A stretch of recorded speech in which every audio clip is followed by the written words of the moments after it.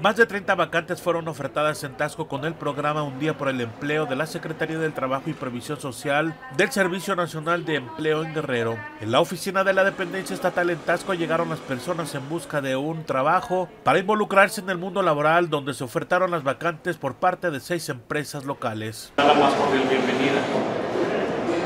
Este, el día de hoy tenemos diferentes empresas eh, nos van a presentar ellos con ustedes para ofertarles sus vacantes.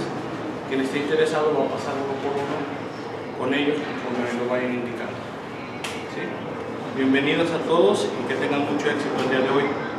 El funcionario estatal informó que una vez al mes estará aplicando este programa con la finalidad de que los tasqueños tengan la oportunidad de ingresar al mercado laboral. RTG Noticias, Raimundo Ruiz.